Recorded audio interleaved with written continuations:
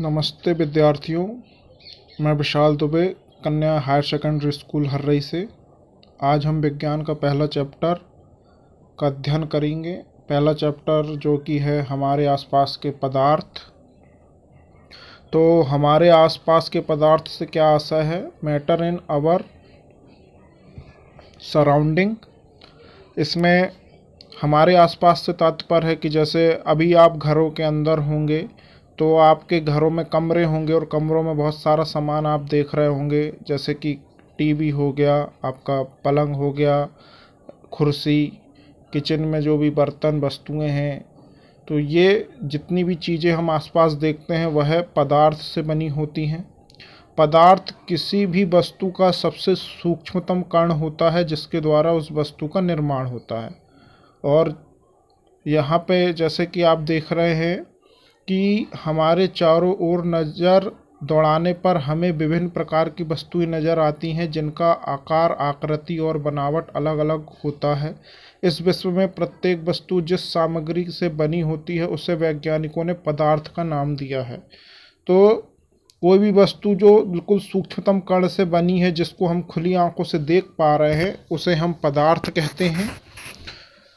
जिस हवा में हम सांस लेते हैं, जो भोजन हम खाते हैं पत्थर बादल, तारे, पौधे, पशु, यहाँ तक कि पानी की एक बूंद, रेत का कण, ये सभी पदार्थ हैं या पदार्थ से बने हुए हैं। ध्यान देने योग्य बात यह है कि ऊपर लिखी सभी वस्तुओं का द्रव्यमान होता है और ये कुछ स्थान घेरती हैं। तो जितनी भी वस्तु यहाँ पे अभी चर्चा हुई है, आप अपनी बुक में देख रहे होंगे वो सारी वस्तुएँ पदार्थ से बनी हैं और उनमें कुछ मात्रा वज़न या द्रव्यमान होता है। द्रव्यमान का मतलब होता है वज़न से। उसमें जो मात्रा होती है पदार्थ की, उसको हम द्रव्यमान कहते हैं। तो जो चूँकि वस्तुओं में द्रव्यमान होता है और उस द्रव्य, वह जो द्रव्यमान होता है, वह स्थान घेरता है मतलब कि उसमें आयतन होता है। ठीक है? और आयतन को नापने की इकाई क्या है? विद्यार्थियों आयतन को नापने की इकाई है लंबाई गुणित चौड़ाई गुणित ऊंचाई अथवा मोटाई। इससे हम आयतन ज्ञात कर सकते हैं। गणित में आपने पढ़ा होगा, आठवीं तक आयतन के बारे में आप जानते होंगे। प्राचीन काल से ही मनुष्य अपने आसपास को समझने का प्रयास करता है, आ रहा है और भारत के प्राचीन दार्शनिकों ने पदार्थ को पाँच मूल तत्वों में वर्गीकृत किया था। तो लंबे समय से जब से मनुष्य का उद्भव हुआ है, तब से बहुत ही ज़्यादा वह क्रियाशील या हम कहें एक्टिव रहा है और उसमें सृजनात्मकता का गुण पाया जाता है। वह खोजी प्रवृत्ति का है मनुष्य, जैसा कि आप सभी जानते हैं। तो हमेशा मनुष्य की ये चाह रही है वह चीज़ों को अच्छे से अच्छे तरीके से जानना चाहता रहा है। तो उस समय के जो प्राचीन समय में जो ऋषि मुनि या उस समय के जो बड़े, पढ़े लिखे विद्वान रहे जिनको हम दार्शनिक कहते हैं, उन्होंने जो तत्, पदार्थ होता है उसको पाँच भागों में बांटा था और कहा था कि उनका जो नाम उन्होंने दिया था पंच तत्व दिया था, उनके अनुसार इन्हीं पाँच तत्वों से पूरी दुनिया का निर्माण हुआ है। तो वो जो पाँच तत्व हैं वो कौन कौन से हैं? यहाँ पे आप देख रहे होगे, वायु, पृथ्वी, अग्नि, जल आकाश, है ना? उनके अनुसार इन्हीं पाँच तत्वों से सभी वस्तुएँ बनी हैं, चाहे वे सजीव हों या निर्जीव। उस समय के यूनानी दार्शनिकों ने भी पदार्थ को इसी प्रकार वर्गीकृत किया था। आधुनिक वैज्ञानिकों ने पदार्थ को भौतिक, गुणधर्म एवं रासायनिक प्रकृति के आधार पर दो प्रकार से वर्गीकृत किया था। कितने प्रकार से? दो। कौन कौन से हैं? तो इस अध्याय में हम सबसे पहले भौतिक गुणों के आधार पर पदार्थों का अध्ययन करेंगे और उसके बाद रासायनिक। मतलब कि पदार्थ जो होता है उसमें दो गुण पाए जाते हैं। एक होता है भौतिक गुण और दूसरा होता है रासायनिक गुण।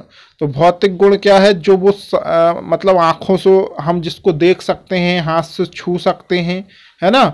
ये उसके भौतिक गुण हो गए। और रासायनिक गुण कि वह दूसरे पदार्थों से किस प्रकार से रासायनिक क्रिया करता है? या जो भी परिवर्तन हम उसमें जो कि हमको दिखाई नहीं देते हैं, पर होते हैं, वह रासायनिक गुणों के अंतर्गत आते हैं। अब पदार्थ संबंधी आपकी किताब में एक जैसा एक चित्र बना हुआ है, ये देखिए। इस चित्र में आप देख रहे होंगे, तीन बीकर रखे हुए हैं, इनमें पानी भरा हुआ है, और इसमें तीनों में आप देखिए तो नमक डाला गया है। ठीक है? तो इस प्रकार से पदार्थ में आपका जल भी आता है, नमक भी आता है। यहाँ तक कि ये जो बीकर है, वह भी पदार्थ से ही बना है।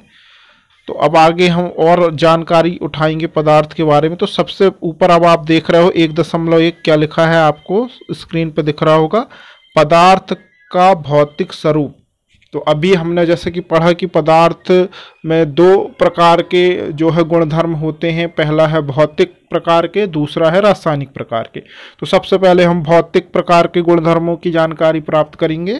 तो एक दशमलव एक एक में देख रहे हैं आप, पदार्थ कणों से मिलकर बना होता है। तो मैं आपको बता दूँ विद्यार्थियों कि जो पदार्थ होता है, पदार्थ से भी छोटे छोटे कण होते हैं जिनको हम इलेक्ट्रॉन, प्रोटॉन, न्यूट्रॉन है ना? परमाणु कहते हैं जो आठवीं तक की विज्ञान में शायद आप पढ़ के आ चुके होंगे। तो पदार्थ सबसे छोटा कण नहीं है दुनिया में। सबसे छोटे कण की श्रेणी में आप अभी वर्तमान में इलेक्ट्रॉन, प्रोटॉन, न्यूट्रॉन आते हैं। किसी भी पदार्थ का जो सबसे छोटा कण है वो परमाणु है और परमाणु भी तीन और छोटे कणों से मिलकर के बना है जिनको आप प्रोटॉन, न्यूट्रॉन और इलेक्ट्रॉन कहते हैं। तो जो पदार्थ वह कणों से मिलकर बनता है। तो पदार्थ का पहला गुण क्या हो गया? पदार्थ का पहला गुण हो गया कि पदार्थ कणों से मिलकर के बना होता है। जैसे कि क्वेश्चन आ गया आपको कि बताइए पदार्थ क्या है? और पदार्थ के कोई तीन भौतिक गुण लिखिए। ऐसा अगर क्वेश्चन आ गया तो पहला गुण क्या लिखोगे आप? कि पदार्थ कणों से मिलकर के बना होता है। इसको समझाने के लिए कुछ और लिख, शब्द लिखे हैं कि बहुत समय तक पदार्थ की प्रकृति के बारे में दो विचारधाराएँ प्रचलित थी। एक विचारधारा का यह मानना था कि पदार्थ लकड़ी के टुकड़े की तरह सतत होते हैं, परंतु अन्य विचारधारा का मानना था कि पदार्थ रेत की तरह के कणों से मिलकर बने होते हैं। आइए एक क्रियाकलाप के द्वारा पदार्थ के स्वरूप के बारे में यह निर्णय करते हैं कि यह सतत हैं या कणों से मिलकर के बने हैं। तो देखो यहाँ पे एक छोटा सा क्रियाकलाप उन्होंने लिखा है क्रियाकलाप एक दशमलव एक। तो इस क्रियाकलाप में हम देखते हैं क्या लिखा है कि एक 100 एम का बीकर लेना है आपको। कितने एम का? 100 एम का बीकर लेना है और इस बीकर को जल से आधा भरकर जल के स्तर पर निशान लाते हैं। मतलब देखो जो बीकर होगा, बीकर में निशान होंगे। जैसे कि यहाँ पे दिया है ये चित्र आप देख रहे होंगे, मैं आपको दिखा देता हूँ, जूम करके। ये आपका बीकर है और बीक, बीकर में आपको 100 ग्राम या 100 एम जल लेना है। तो बीकर में तो एक स्केल भी बना होता है और उसमें एमएल लिखे होते हैं एक से सौ तक। और ज़्यादा भी लिखे होते हैं, जितना बड़ा बीकर होता है उस हिसाब से उसमें रहता है। एक लीटर के भी होते हैं, आधा लीटर के भी होते हैं, सौ ग्राम का भी बीकर होता है। तो बीकर का अपना एक साइज़ होता है तो उसमें एक स्केल बना होता है। तो उस स्केल के आधार पर आपको पानी भरना है और लगभग 100 एम पानी लेना है। जैसे कि ये बीकर आपको दिख रहा है चित्र में। ऐसे ही होते हैं। ठीक है, आगे बढ़ते हैं उसके बाद। बीकर को भरना है, आधा भरना है, लगभग। मतलब बीकर जो है वो 200 से 250 एम वाला बीकर लेना है और उसमें 100 एम पानी भरना है तो वो आधा भर जाएगा। ठीक है? फिर दिए गए नमक या शक्कर को कांच की, छड़ की मदद से जल में घोलना है। तो आपको कुछ मात्रा में नमक या शक्कर लेना है, लगभग एक चम्मच आप मान सकते हैं। जैसा कि इधर आपका ये जो चित्र है, इसमें आपको देख सकते हैं। ये देखिए, एक चम्मच उन्होंने नमक डाला है यहाँ पे, और फिर उसके बाद देखिए, इधर आप देख रहे होंगे, ये कांच की छड़ है, इसके माध्यम से आपका जो नमक है वो जल में घोला जाएगा, ठीक है? अब आगे बढ़ते हैं तो ये काम हो गया आपका, फिर आगे आ जाते हैं अपना, फिर क्या कह रहा है वो? कि जल के स्तर में आए बदलाव को अब ध्यान से देखना। तो पहले अपने को क्या करना है? बीकर लेना है। बीकर में पानी डालना है लगभग 100 एम उसके बाद उसमें एक चम्मच आपको शक्कर या नमक डालना है। फिर एक कांच की छड़ से उसको गोल गोल घोलना है और घोलने के बाद उसको छड़ को अलग रख के थोड़ी देर इंतज़ार करना है। जब पानी अपने लेवल पर आ जाए, उसके बाद हमको वो जो स्केल होता है उसमें देखना है कि अगर पानी जो 100 एम हमने लिया था, उससे कितना ऊपर गया है। तो उस बदलाव एक तो चीज़ ये हो गई, दूसरा आप ये भी देखोगे कि जब आप शक्कर या नमक पानी में घोलोगे तो जो पहले अगर आपका पानी अच्छा शुद्ध, प्योर था, जो जो पारदर्शी पानी था, जिसके आर पार आप देख पा रहे थे, अब वो नमक या शक्कर घुलने के बाद थोड़ा सा धुंधला या आपको गंदा दिखाई देगा और थोड़ा सा आपको उसमें उस तरफ़ जो पारदर्शिता जो पानी की है, वो कम हो जाएगी, वो अपारदर्शी होने की स्थिति में आ जाएगा तो उसमें जो धुंधलापन है वो नमक या शक्कर के कारण आता है, ठीक है? तो ये उसका जो बदलाव है, वो आपको देखने को मिलेगा। अब आगे बढ़ते हैं तो ये जो दो चार क्वेश्चन पूछे गए हैं कि नमक या शक्कर का क्या हुआ, वो कहाँ गायब हो गए और पानी के स्तर में कोई बदलाव आया या पानी का जो पारदर्शिता है उसमें क्या बदलाव आया? ऐसे चार पाँच क्वेश्चन उठ के सामने आएँगे। तो मैं आपको बता दूँ कि जो नमक या शक्कर है, वो पहले तो वो घुल के उनके जो छोटे छोटे कण हैं, वो उन स्थानों पर चले जाते हैं कि जो पानी की दो बिंदु पानी की जो बूंदें होती हैं, उनके बीच में कुछ रिक्त स्थान पाया जाता है। ठीक है? तो उन रिक्त स्थानों में वो शक्कर के कण या नमक के कण चले जाते हैं और इस तरह से वो गायब हो जाते हैं पानी में, लेकिन पानी की जो पारदर्शिता है वो कम हो जाती है। पानी में अब ज़्यादा पारदर्शी नहीं रहता और पानी की थोड़ी सी मात्रा भी बढ़ जाती है बीकर में। अगर आपने नाप के पानी लिया है तो है ना? तो इन प्रश्नों के उत्तर पाने के लिए हमें यह विचार को स्वीकार करना होगा कि सभी पदार्थ कणों से बने होते हैं और उपयुक्त क्रियाकलाप में चम्मच में रखी हुई नमक या शक्कर अब पूरे पानी में घुल गई है, जैसा कि आप देख रहे हैं। तो ये मैंने आपको बता दूँ, एक यहाँ देखो, एक छोटी सी लाइन में क्या लिखा है कि जो एक हज़ार एम बराबर एक लीटर या एक मिलीलीटर कुछ होता है, ठीक है? एक लीटर पानी कितने के बराबर होता है? एक हज़ार एम के बराबर होता है। है ना? तो ये यहाँ पे आपका दिया है मात्रक। उसके बाद अपन आ जाते हैं चित्र में। जैसा कि आपका बीकर का चित्र दिया है आपका, इसमें हमने क्या किया था? बीकर में पानी लिया था सौ एम नीला रंग का आपको पानी दिख रहा होगा बीकर में। फिर उसके बाद सेकंड चित्र में हमने क्या किया? उस सौ एम पानी में जो है वो आपका ये चम्मच से आपका नमक या शक्कर डाला और फिर तीसरे वाले चित्र में एक कांच की छड़ देकर के उसको गोल गोल घुमा, घोल दिया, ठीक है? और फिर उसका अवलोकन किया। तो मैंने बताया आपको कि क्या क्या अवलोकन किया और क्या क्या रिज़ल्ट निकल के आया, ठीक है? तो यहाँ पे अब हम आगे बढ़ते हैं। अगला आता है जो सेकंड है कि जो पदार्थ के कण कितने छोटे होते हैं? तो पदार्थ के कणों का साइज़ की जानकारी के लिए फिर एक और क्रियाकलाप यहाँ दिया है कि उनका साइज़ कितना होगा, कि कोई भी पदार्थ वो कितना छोटा हो सकता है। उसको लेकर एक और क्रियाकलाप यहाँ दिया है। क्या लिखा है उसमें कि पोटेशियम परमैग्नेट के दो या तीन क्रिस्टल को 100 एम पानी में घोलेंगे, है ना? और इस घोल में से लगभग 10 एम घोल निकालकर उसे 90 एम जल में मिला देंगे। फिर इस उपयुक्त घोल में से 10 एम निकालकर उसे भी 90 एम जल में मिला देंगे। और इसी प्रकार इस घोल को पाँच से आठ बार तक तनुकृत करते रहेंगे। क्या जल अब भी रंगीन है? जैसा कि ये चित्र दिया है, इससे हम समझेंगे। सबसे पहले हमको क्या लेना है बच्चों?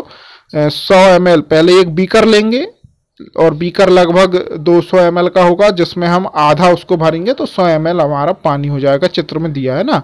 अब उसके बाद फिर एक चम्मच जो है वो पोटेशियम पर डालेंगे, फिर उसको गोल गोल घोलेंगे, और उस 100 एम से जैसे कि ये तीर का निशान दिख रहा है, उस 100 एम से हम दस एम निकाल लेंगे एक परख नली में और उसको हम अगले बीकर में डाल देंगे। मतलब पहले उस बीकर में भी पानी लेंगे लगभग नब्बे एम और ये जो नया वाला पानी है, जो जो वाला वो उसमें डाल देंगे तो ये फिर से सौ हो जाएगा। उसके बाद फिर उसमें से क्या करेंगे हम? फिर दस एम परख नली से निकालेंगे, जैसा कि चित्र में दिख रहा होगा। सेकंड वाले में आ जाइए, परख नली में। और उसके बाद फिर क्या करेंगे? उसको डाल देंगे नए बीकर में। और फिर उसमें से 10 एम निकाल के फिर तीसरे, चौथे बीकर में डालेंगे। तो ये जो लास्ट के तीन बीकर हैं, एक, दो, तीन, उनमें हम पहले नब्बे नब्बे एम पानी ले लेंगे और फिर जो हमारा जो दूसरे नंबर का बीकर था उसमें से दस तीसरे में, तीसरे से दस, चौथे में और चौथे से दस, पाँचवें में। तो आप देख रहे होंगे चित्र में कि जो सबसे पहला वाला था, बिल्कुल उसमें शुद्ध पानी था। सेकंड वाला में ज़्यादा पर पोटेशियम पर मैग्नेट के कारण वो ज़्यादा बहुत अधिक घना लाल था। फिर उसके बाद जो मतलब बैंगनी था और धीरे धीरे उनका जो बैंगनी रंग है वो हर बीकर के साथ कम होता गया है, ठीक है? तो ये एक तरीका था तो हमको हर बीकर में जो रंग, रंगीन पानी का जो रंग है वो फीका होते हुए नज़र आता दिख रहा है। ठीक है, अब इसको और आगे समझ लेते हैं क्या है। तो यह प्रयोग दर्शाता है कि पोटेशियम परमैंगनेट के बहुत छोटे से कणों से पानी की बहुत अधिक मात्रा लगभग एक लीटर भी रंगीन हो जाती है। इससे हम यह निष्कर्ष निकाल सकते हैं कि पोटेशियम परमैंगनेट के केवल एक क्रिस्टल में कई सूक्ष्म कण होते हैं और ये कण छोटे छोटे कणों में विभाजित होते रहते हैं। अंततः एक स्थिति में ये कण और छोटे भागों में विभाजित नहीं किए जा सकते। पोटेशियम परमैंगनेट की जगह 2 एम एल डेटाल से भी यह यह क्रियाकलाप हम घर में कर सकते हैं। जैसे अगर पोटेशियम परमानेंट नहीं है तो डेटाल तो होगा ही घर में तो उससे भी आप ऐसा कर सकते हो। लगातार तनुकृत होने पर भी उसकी जो महक है वो हमें मिलते रहती है। तो अंत में जो नीला डब्बा है, उसमें क्या लिखा है, देखो ध्यान से। कि पदार्थ के कण बहुत छोटे होते हैं, इतने छोटे कि हम कल्पना भी नहीं कर सकते मतलब हम उसका साइज़ भी नहीं बता सकते। ठीक है? तो पदार्थ के कणों के अभी अब देखो दो हो गया कि पदार्थ के कण बहुत छोटे होते हैं, ठीक है? और पहला वाला क्या था अपना? कि जो पदार्थ है, वो कणों से मिलकर के बना होता है। पहला गुण ये हो गया, दूसरा गुण क्या था? कि जो पदार्थ के कण होते हैं यह बहुत ही छोटे होते हैं, है ना? और अब आगे क्या आएगा फिर? अब हम जानेंगे पदार्थ के कणों की विशेषता। अभी हम पदार्थ की विशेषता जान रहे थे तो पदार्थ की दो विशेषता हमने जान ली। पहला, कि पदार्थ कणों से मिलकर के बना है, और दूसरा, पदार्थ के कण बहुत छोटे होते हैं। तो ये हो गई पदार्थ की दो विशेषताएँ। अब पदार्थ के जो कण हैं मतलब कि पदार्थ जिन कणों से बना है उनके क्या लक्षण है, उनके क्या गुण है, वह हम जानेंगे। तो ये मैं आपको अब अगले वीडियो में बताऊँगा। ये वीडियो यहीं तक। धन्यवाद।